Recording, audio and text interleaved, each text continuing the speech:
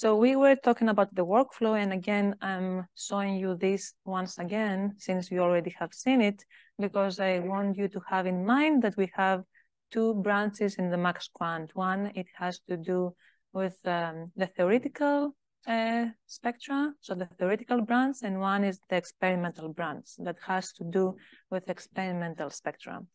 So we already saw the experimental branch, uh, and now we're going to see the theoretical branch. And why we're actually having theoretical branch uh, it's because we are going to use uh, the prior information of a database of a list of proteins that we expect to have in our sample. And this will help us to identify the peptides easier. How it will help us, let's see. So um, again, as I said, uh, that uh, we have our sample and usually we uh, are aware of the organism that the sample came from. And based on this information, we will go to any protein database, for example, in UniProt, and we will download uh, the uh, protein database for this organism. so we will download it in a FASTA file. so the FASTA file will contain a list of proteins that we expect to have uh, in this organism. Uh, then, uh, so now, for now on, all the steps that we are going to do, of course, they're going to be in silico, but they should be uh, the equivalent of the steps that we did in the wet lab. So for example, now I have the list of the proteins in the FASTA file, and I am going to digest them into peptides. I'm not going to digest it as I want, but I'm going to keep the same digestion rules of the digestion enzyme that I used in the wet lab for my experiment. So for example, if I use trypsin uh, in my wet uh, lab experiment, then I have to do the same digestion in silico. So I will like uh, digest the proteins after uh, lysine and arginine. And then after the in silico digestion, then from a list of proteins, I will have a very, very big list of peptides, uh, as we can see here. And of course, it's one of the peptides will have a mass uh, uh, as a company. Uh, so then, uh, so you have to understand that this list is very big, very, very big. Uh, we have a very big list of peptides. And what we will do, since from the MS1 uh, level information, we know the peptide that we actually isolated to do the MSMS fragmentation, we can use this information to go from this very big list of peptides to a smaller list of peptides that, uh, that um, actually are the candidates for that RNA identification. So um, uh, yes, again, I know that I, isolated this peptide with a specific M over Z. I also know the charge, so I can infer the mass of the peptide that I isolated. And based on this mass, I will be able to only get out of this big list of peptides only the uh, actual candidates. Of course, with some like tolerance, so I will not only get one peptide, but I will have like a list of peptides and then for each one of these peptides, the candidate peptides, I'm going to create a theoretical spectrum. Uh, so I will end up with a list of theoretical spectra here. And then what I'm going to do, I'm going to compare uh, every time one, uh, the, our experimental MSMS spectrum with the, one of the theoretical MSMS spectrum. And I will um, uh, score it using the Andromeda a search engine that we have in MaxQuant. And this score will give me like a confidence about how good the matching between the experimental spectrum and the theoretical spectrum, how confident we are about this matching. And we will see exactly uh, the um, uh, Andromeda scoring later. Uh, and uh, since I have a list of peptides that I'm going to do the Andromeda scoring uh, with, only one will win, and that's how we will infer the peptide from the theoretical spectrum that won to the experimental spectrum. But uh, this is uh, quite uh, like a very simplified view uh, because we don't just take the experimental spectra, we don't just create the theoretical spectra, we have specific rules of uh, pre-processing, for example, the experimental spectra. So let's see how this will work. So yeah, let's talk about the experimental spectra and how we process them. So processing of experimental MSMS spectra in MaxQuant. So first of all, MaxQuant should be aware of your spectra in the first place. And to do that, you have to load your raw files that you got from your mass spectrometer into MaxQuant. We will have, again, tutorials about that, but in general, you just load the raw files into MaxQuant. And now uh, MaxQuant is aware of them. So we will, it will be able to go and search for the spectrum in the raw files. Uh, and uh, let's say that the raw MSMS spectra look something like that. Actually, it, this is not uh, a realistic view of a MSMS spectrum at all. But what I'm trying to do here is that you should be aware that uh, the MSMS spectrum is quite populated with peaks. That's what I'm trying to say here, but not it's not realistic at all of how the MSMS spectrum looks like. But so it's very populated with peaks because we have a lot of noise, for example. We can have like co-eluting peptide uh, fragment peaks. So we want to go from this uh, very populated MSMS spectrum to something filtered, where you only keep the peaks that actually are important for the peptide identification that you want to do. Uh, so how we are going to go from the raw one to the filter one, we have a list of uh, steps. So let's see the steps one by one. So the first thing that we are doing is uh, called centroid, centroiding. So what actually that means? Uh, so when you run the mass spectrometer, sometimes you can uh, collect the data in two different modes. It can be either centro uh, in centroid mode or in profile mode.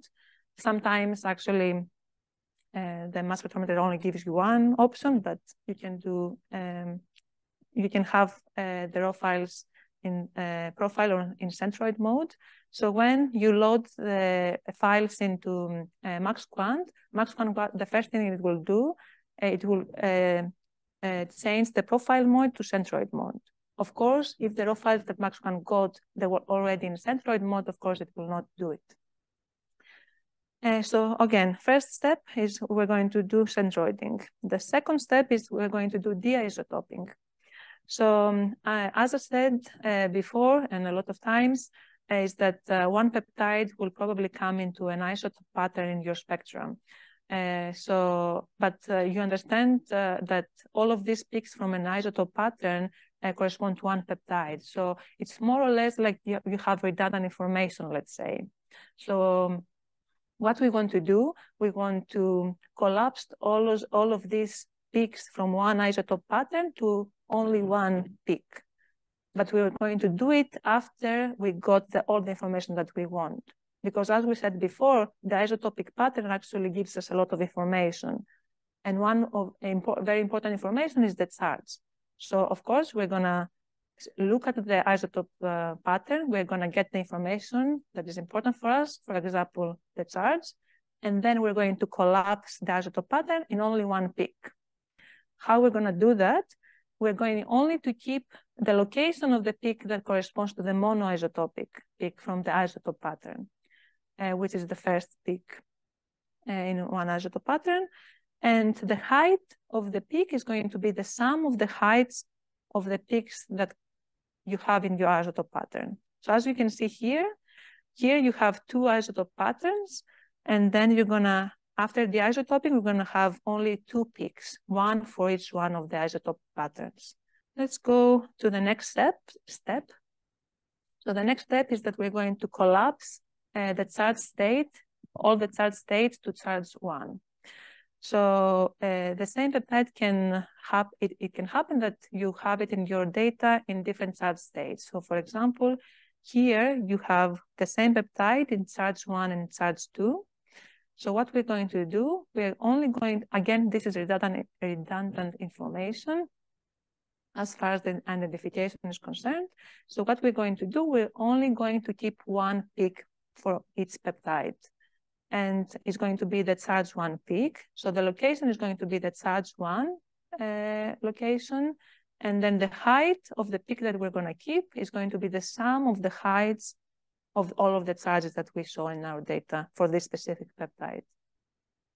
So as you can see here again, we had one peptide with charge one and charge two, but then at the end, we kept only the location of the charge one, and then the heights, uh, we used the sum of the heights of the different charge states. Hey, I have two questions regarding the uh, collapsing charge state step. So the first question is, if that's the case, then does that mean MaxQuant will never report any fragment ion in the MS2 that has charge state not as one? So it will not report anything, it, say have two it, charge state. It will report it. I probably I uh, like um, say it like in a way that it was like confusing to you. But what I mean, even let's say that you have one peptide that is only in charge two in your data, then of course we will keep we will keep this information, but we will put it in charge one position. So we don't like throw it away because we didn't so we didn't see the charge one uh, peak. So we just put everything in charge one. So we will just move it.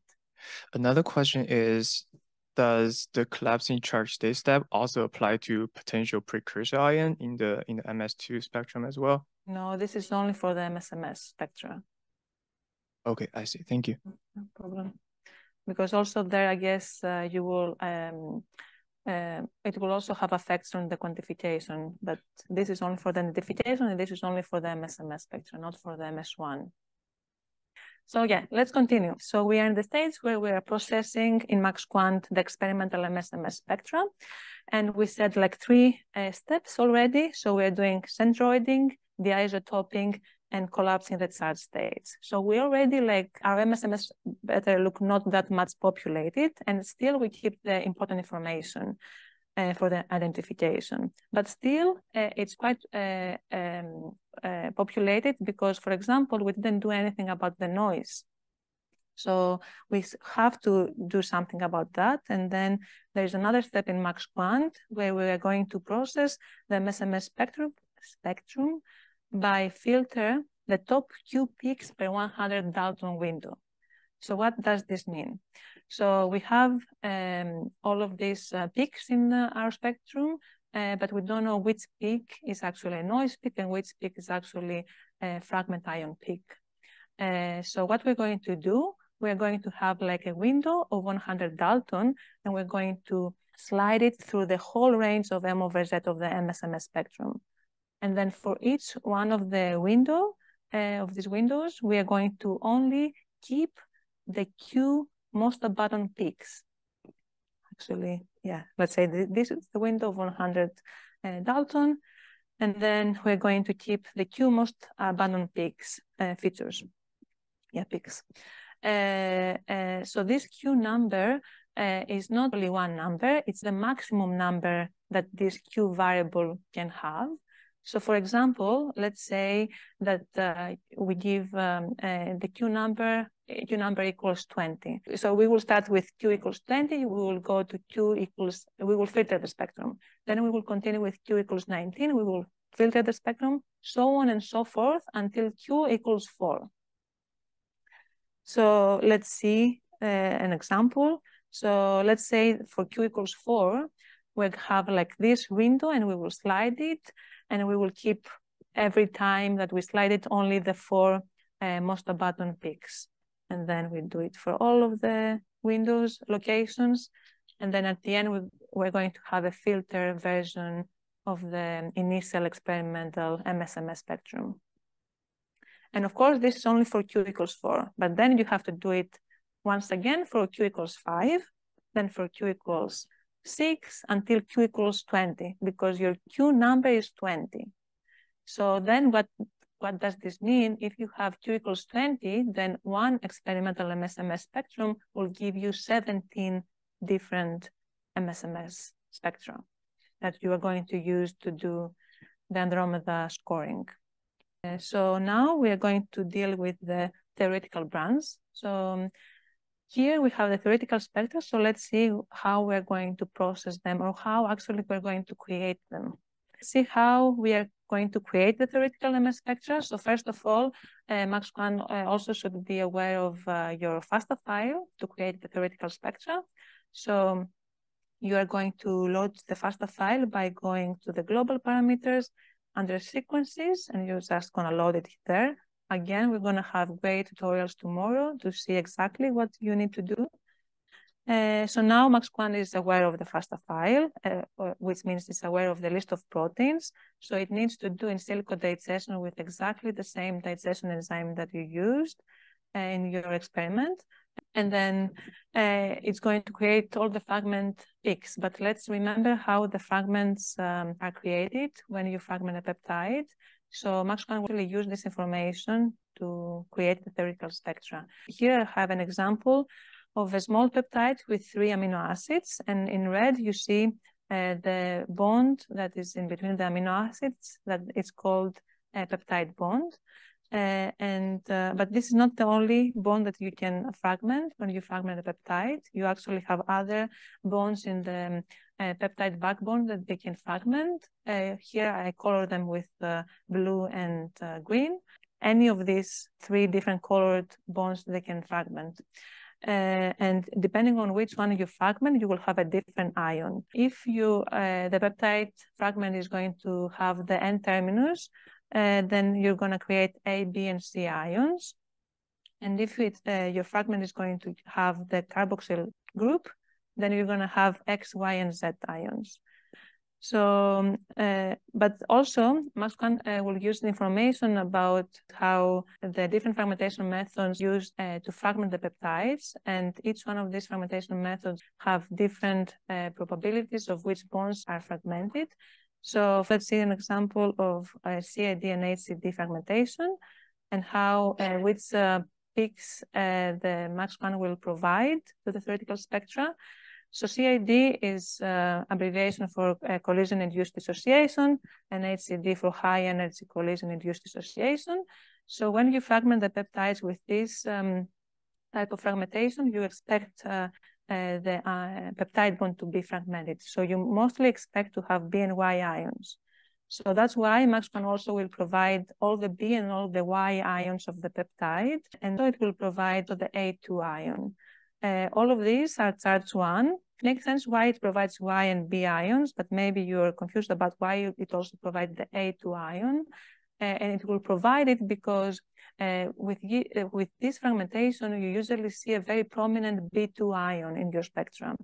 And this B2 ion also, uh, it can fragment further uh, with um, like an exclusion of um, mon uh, carbon uh, monoxide, and it will create a very prominent A2 ion peak. And that's why we also provide it here. Then what else we provide? We provide B and Y ion, but double charged.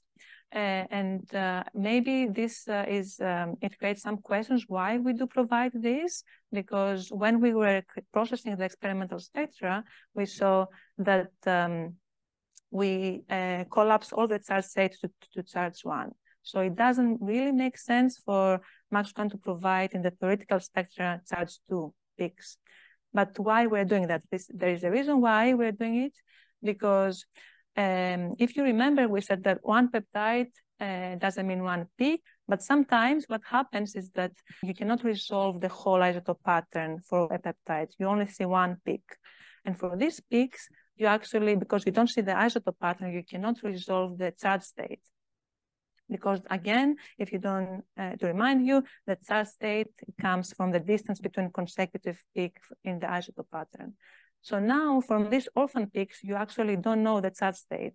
So it can be charge one, charge two, charge three, so any charge. For this reason, we also provide for these actually orphan peaks, we provide also charge two B and Y ions. Oh, I mean, of course, it makes sense only to provide them when charge of the precursor is more than or equal to two, because I mean, if it's one, it's not possible. Then, of course, if the peptide contains a modification, then and it will create diagnostic peaks, then we will also provide that. And then we are going to provide also some neutral losses. So until now, I showed that um, uh, the bonds that they're fragmented uh, when uh, at the backbone of the peptide, but also what can happen is that you can have a fragment on the side chains of um, the amino acids. And when you do, uh, when you fragment at this, um, at the side chains, then you can have neutral losses. Uh, so we provide some of these neutral losses that um, uh, usually you see in the experimental spectra. So one of these is the uh, water losses. So we will provide the B and Y water uh, neutral losses, uh, and we will provide them only if the fragment actually contains one of these four amino acids, because this is when you usually see these neutral losses in the experimental spectra as well. Another neutral loss that we will uh, provide is the uh, ammonia losses. So again, Y and B ions with ammonia loss, and this is also, we will provide it when the peptide, uh, the fragment actually contains one of these four amino acids. Um, and then we have, if uh, the fragment contains a modification, then uh, we will also provide modification-specific neutral losses. And uh, so we will provide for CAD and HCD, we will provide this list of um, uh, fragment peaks. And uh, for each one of the theoretical peptide, we will create two uh, theoretical spectra. One without providing the neutral losses, and one with providing the neutral losses. And again, uh, the best Andromeda score will win at the end when you calculate the Andromeda score with experimental spectrum. So yeah, we finished with uh, filtering experimental spectra, but also we created all the theoretical spectra from our uh, FASTA uh, database. And now it's time to do the Andromeda uh, scoring. Again, you have to understand that every time that I'm talking about calculating the Andromeda score, I mean between one experimental spectrum and one theoretical spectrum. And what I mean by comparing this to spectra to calculate the Andromeda score is what you're doing is actually more or less you put one on top of each other to actually align them uh, based on the M over Z axis, and then you just count how many of the peaks are matching. Of course, this has to do also with some mass tolerance. By uh, matching one experimental spectrum with one theoretical spectrum, you're going to have two numbers that they are important for the Andromeda calculation. One number is the N, which is the total number of the, the theoretical ions. The other number that's quite important is the K, which is the number of matching ions in the spectrum. So now that you have these two numbers, you're ready to calculate the Andromeda score. Uh, we're going to go step by step of how the Andromeda score, to understand how the Andromeda score is calculated, but this is not the Andromeda score. So first, let's say that we want to calculate uh, the probability of getting exactly K matches by chance. So how we are going to calculate that? Uh, this is like the formula. So first we're gonna calculate the um, combinations. So again, N and K are the two numbers that I talked about before. So uh, yeah, N chooses K, which means the combinations of um, uh, creating K matches uh, from N theoretical um, peaks. Then we're going to have to multiply with the probability of a random match, which is the Q divided by 100. And here the Q is the Q number that we talked about before. And 100 is the window that we talked about before. And you raise this probability to the number of matches, which is the K. And then you multiply with uh, the probability of not getting a random match, which is 1 minus Q divided by 100.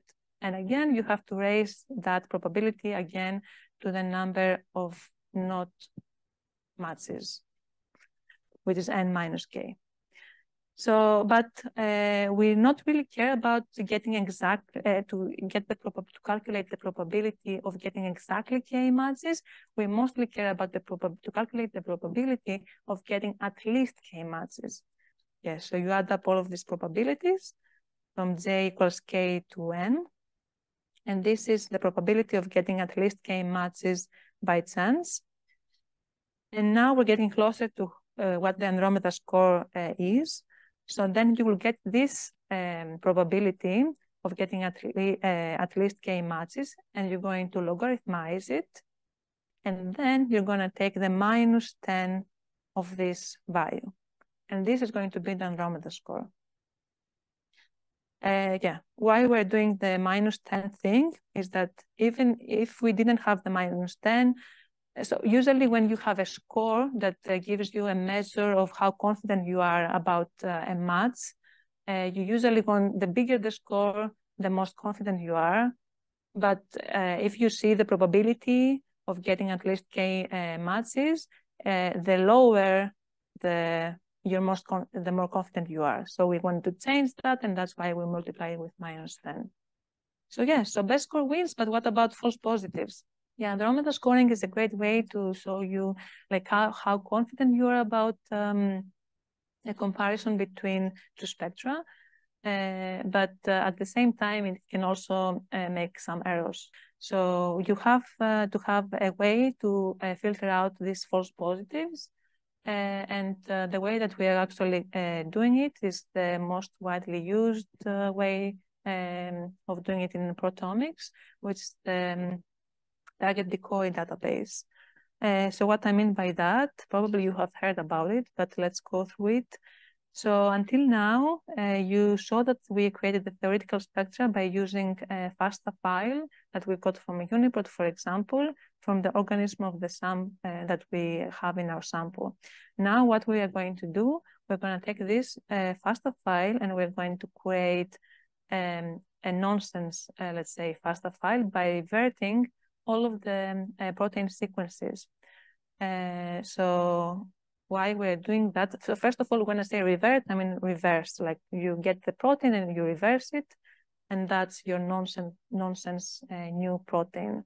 So this, uh, so we call like the proper database, we call it target, and uh, the nonsense database, we call it decoy. And this, both of the data sets, they have the same, like uh, they're the same size. reverting the um, proteins is only one way that you can do uh, you can create your decoy database, but uh, and this is the way that we suggest you to do it. But of course, there are other ways as well. You can, for example, randomize uh, your amino acids in your proteins. Um, one rule that we have um, uh, when you create decoy databases is that it shouldn't be easy for you to understand when you see a protein uh, or a peptide uh, to be able to understand if it comes from a decoy database or not. And what I mean by that is that uh, in a protein, uh, the amino acids are not ra in random places. So uh, amino acids have a specific probability to be next to a specific other amino acids. Uh, so when I'm reverting the protein sequences, I'm actually not changing these probabilities. But if I'm actually going to randomize the amino acids, then I'm going to change these probabilities. So from randomized decoy database, I get the proteins, and if I do some statistics there, I can easily be able to understand that this is a decoy database. The suggestion from us is that you should do a revert the proteins to create the decoy database. Uh, and also I have to remind you that this, you don't have it, you don't have to do it beforehand in MaxQuant. You just, in, what you need to do is that you just put your FASTA file in MaxQuant and MaxQuant will do it for you. So, but actually there is a parameter in MaxQuant that you can change how the decoy database will be created. And default, by default, it's uh, by reversing the proteins. So I'm, uh, so again, we had the target database, we created a decoy database. And now we're also, we're going to use the same steps that we saw before to create also theoretical spectra from the decoy database as well. And we're going to use both uh, theoretical spectra, both from target and, and decoy uh, database to do the Andromeda scoring. And again, the best Andromeda score will win. The main assumption underlying like this uh, process is that um, the false positives have the similar likelihood to come from the target uh, database or the decoy database. So just by counting how many of your experimental spectra match to the decoy uh, theoretical spectra, you can um, infer, let's say, the proportion of the false positives in your target uh, database. So when a, an experimental spectrum will actually match with the best Andromeda score to a target uh, to a decoy uh, theoretical spectra, of course we know that this is wrong. So this is not going to be at the end in your uh, results.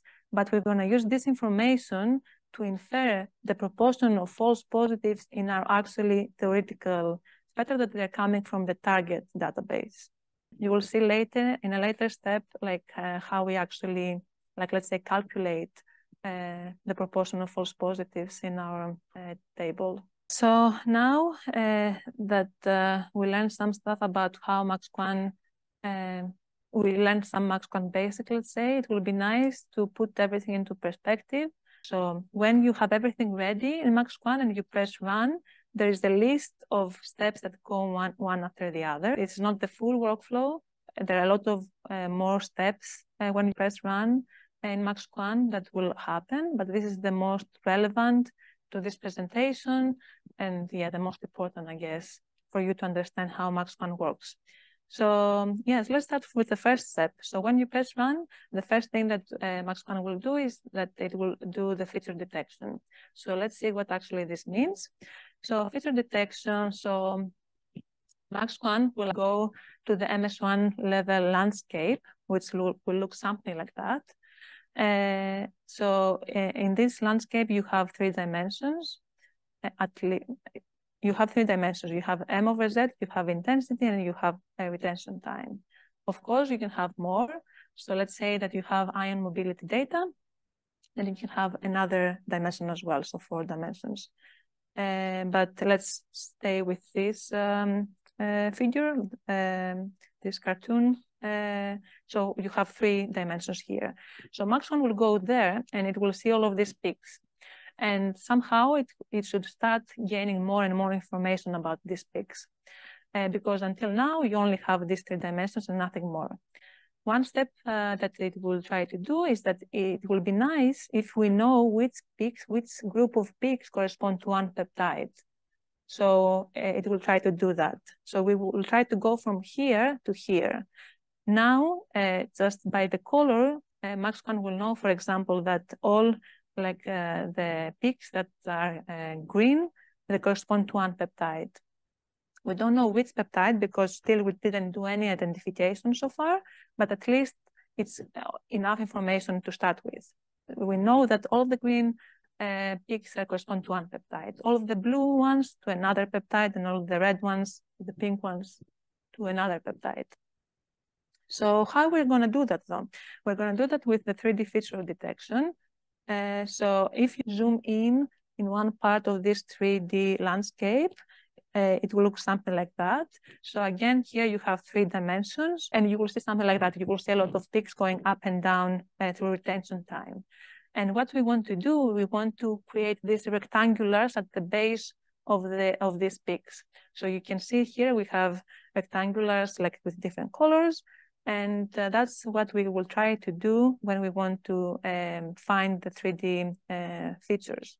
Now we're going to go from 3D to 2D. So we're going to remove the retention time. And how we're going to remove it, we're going to slice the retention time. So for example, first we're going to take this slice, and then we're going to take the next slice, and we're going to have a series of steps in these 2D plots now. So um, Yes, again, we have the 3D and we're going to 2D by slicing the retention time. The 2D plots will look something like that. And this is the profile mode. And we say that uh, uh, MaxQuant will do the, um, the profile mode to centroid mode. So how we actually do it, it's actually very easy. You go and find the um, local maximum uh, and then you go down until the intensity goes, uh, goes down to zero and then you will have these two red lines. MaxQuant will put these two red lines, as you can see here. It either goes back to zero or it goes down and then back again, which we call shoulder, like here. And again, it will put a red line here. And these red lines are like the borders of the 3D feature. So first we're doing this, we find the borders of the 3D peak, um, and then we are going to find where we should put the centroid. Uh, so for the location of the centroid, we will find it by taking the five most abundant peaks inside this uh, like red uh, borders, and we're going to logarithmize them, and then we're going to fit like inverted parabola. It doesn't matter that much. So, but this is how you are going to find the location of the centroid. Then the height of the centroid is going to be the sum of the heights of all of the peaks inside the red uh, borders of the 2D profile uh, plot peak.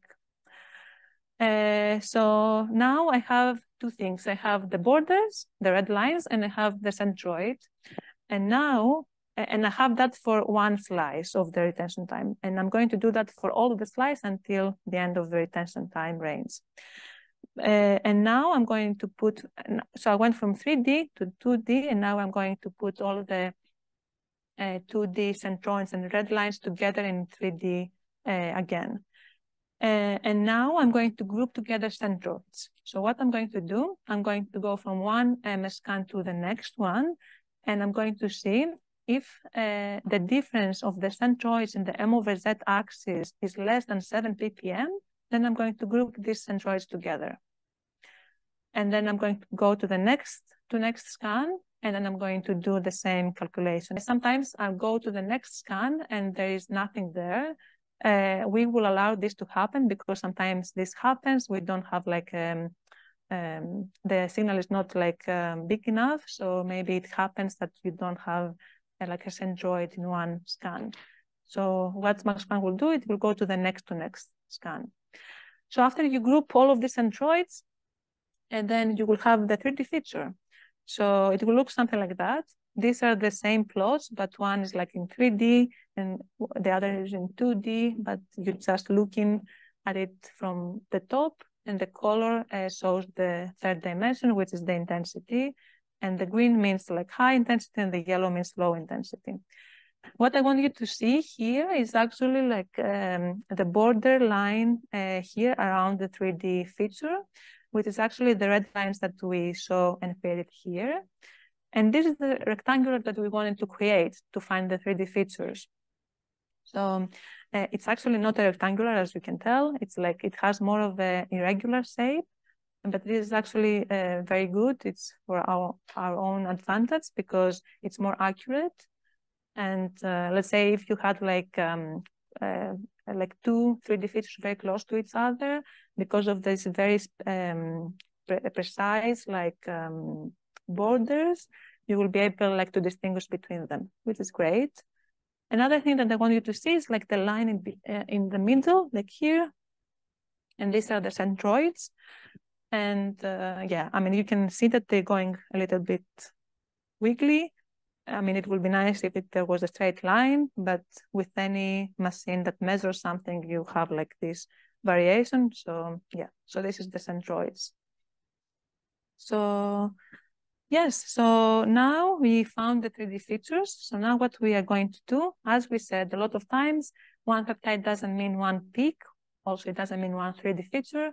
Uh, so now you have to put uh, the 3D features together. So um, how we're going to do that. Uh, so we, ha we have to have some rules. So we have three different rules, three main criteria to put 3D features together in one isotope pattern. So the first thing is that the distance between consecutive 3D features should be uh, almost 1 over z. The second criteria, uh, the second rule is that um, the intensity pattern uh, at the m over z axis of the isotope pattern should correlate with the intensity uh, pattern of uh, uh the averagine model of a peptide of the same mass of the of this m over z. So if you're not aware, there is um, like an average model. So since so we have these 3D, uh, 3D peaks, and we try to put everything together in an isotope pattern, but we still don't, uh, we haven't done the identification of the peptide. We only know the, the M over Z of the monoisotopic, let's say, of the isotope pattern. Uh, so what we can do is that we can, uh, since like um, all the peptides are not the same, but very similar, and they uh, are created by the same uh, amino acids, we can use like the average peptide of an m over z of this isotope pattern. And we do that by using the averagine model. So the intensity profile of this um, uh, isotope pattern and uh, what we get from the averagine model should correlate. So we, what we are going to do, we're going to calculate, we're going to calculate the cosine similarity, and then we're going to put a threshold on it. So the second uh, rule is this. And the third rule is that, and it's the most important one, is that the elution profile in the retention time axis uh, should correlate. So these are the three criteria.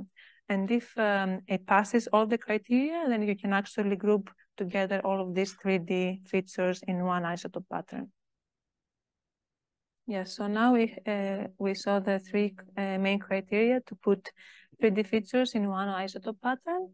But uh, also uh, what you may have in your data is that you can also have some MS1 labels. So when you expect like um, uh, like multiple uh, isotope patterns that correspond to the same peptide. For example, let's say that you have a SILAC with light and heavy uh, labels. Uh, so you will have like two isotope patterns that correspond to the same peptide, one in a light form and one in the heavy form, and you should put them together because they correspond to the same peptide. And again, to group the two isotopic patterns now together, you have to have another three main criteria. Um, First of all, the mass difference between the monoisotopic peaks between the heavy and the light should be a fixed set of values divided by charge. So, um, for example, let's say that uh, you use, as I said before, uh, the, the SILAC, so you used heavy lysine and heavy arginine. So, of course, this difference that I'm talking about, it has to do a lot with what uh, digestion enzyme you used and also what labels you used. So let's say that you use a tryptic digestion. So all the peptides have, not all of the peptides, but most of the peptides have one arginine or one lysine.